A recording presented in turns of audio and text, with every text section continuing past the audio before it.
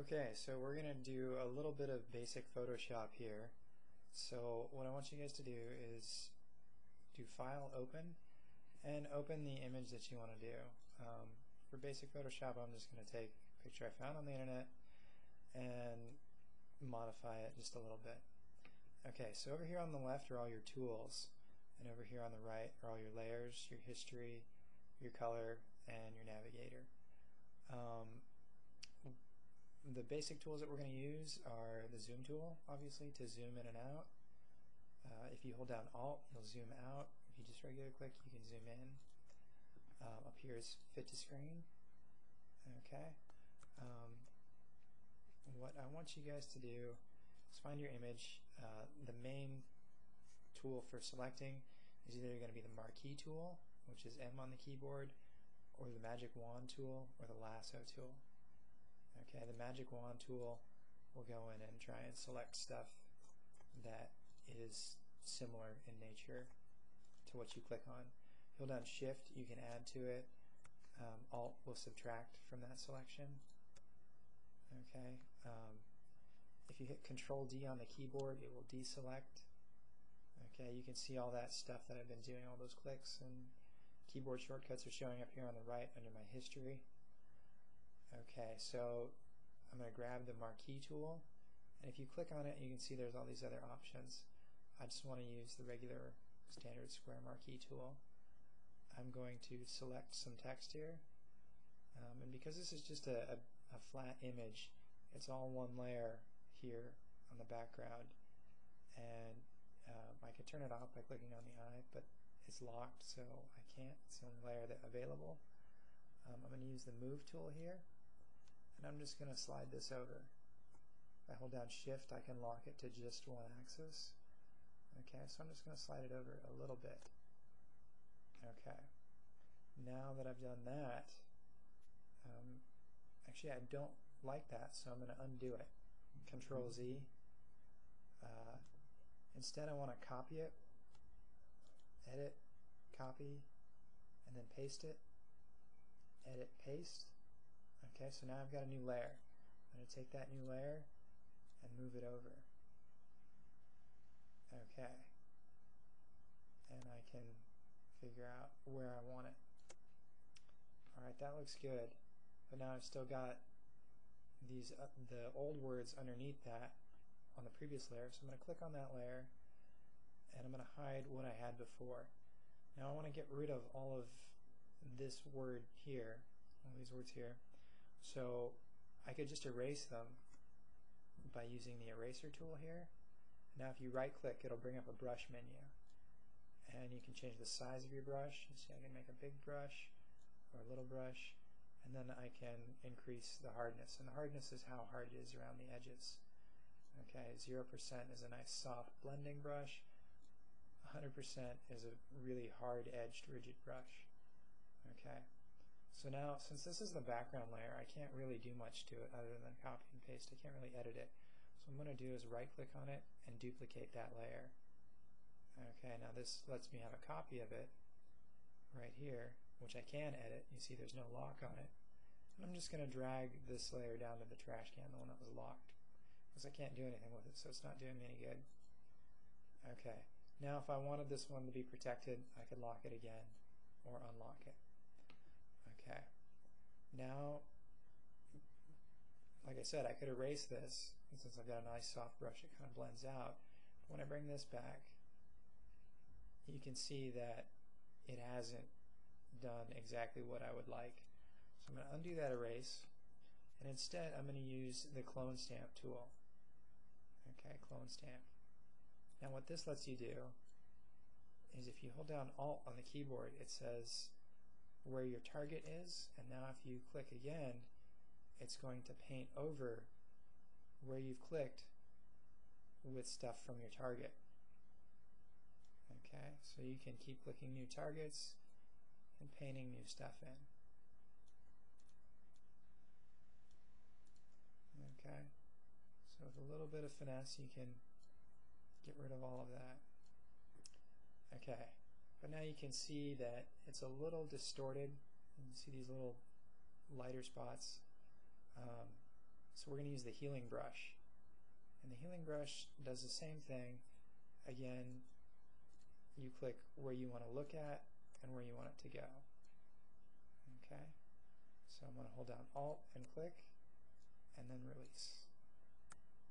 Alt, click, and release, and then now I click again, and it's painting over great. Okay, so I bring this back, and I see, okay, now I've got a little bit of an edge around here. So I'm just going to work on this layer. I'm going to make sure I've got it selected. I'm going to use my eraser tool, make it pretty small. And now, instead of being 100% on the opacity, which is fully erasing, I'm going to bring it down to, say, 36.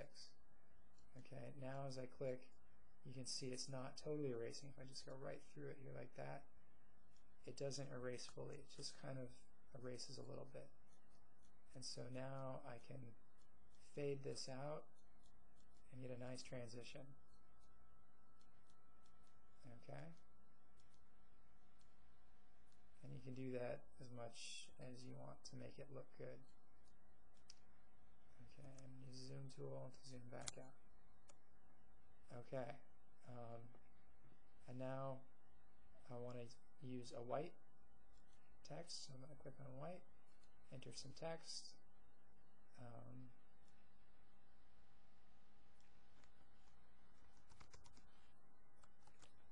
and let's make it really small. Okay, that's too small. Try and get it about the size that they've got there. And pick a font that's similar to theirs. Okay. And we can move our original words over and put these in here. Okay. And if you want to edit your text, you just click on it again and type in what you want to do instead. And now if you ever see any of these uh, circles with lines through it or checkboxes, that means you have to either commit or cancel your current edits before you can move on. Okay.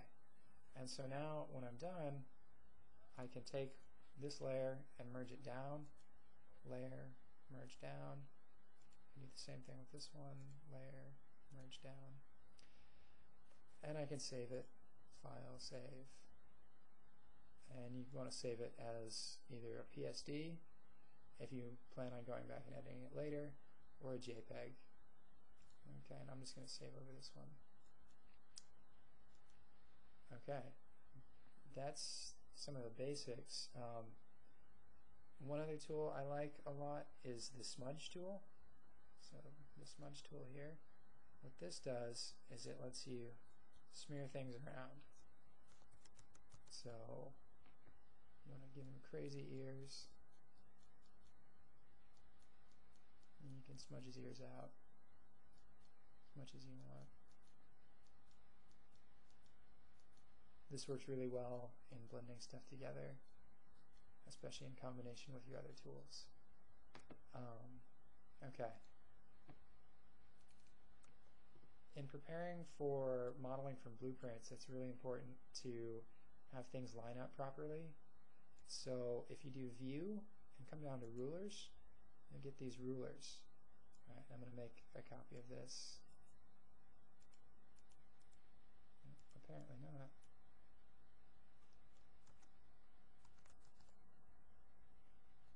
Okay, so I'm just going to copy everything into a new file and paste this in here and do rulers.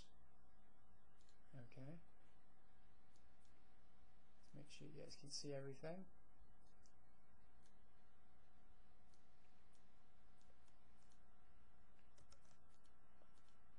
Okay, so now if you click on one of these rulers, you can drag it down, and what it will actually do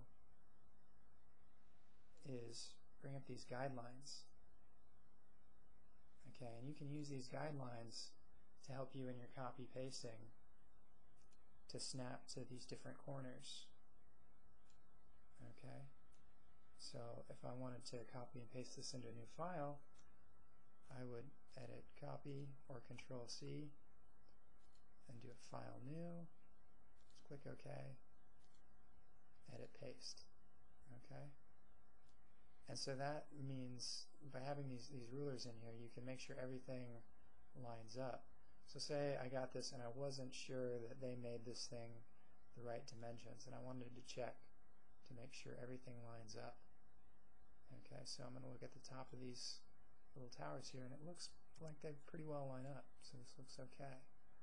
Um, if I wanted to check the fins, I could bring one down for the fins and come over here and look. And it looks like they kind of messed up here um, on some of these.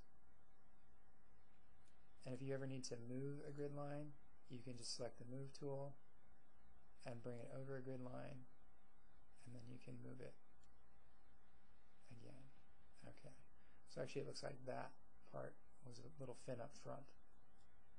And these guys in the back do line up okay. So it looks like we're alright. Um, if you ever want to get rid of your grid lines completely, um, you can turn off your guides here, okay, and they just go away. Alright, so that's that's the basics of Photoshop. Um, play around with all the tools, play around with the, the layers and the ordering of the layers. Um, it's a really powerful tool and there's a lot to it.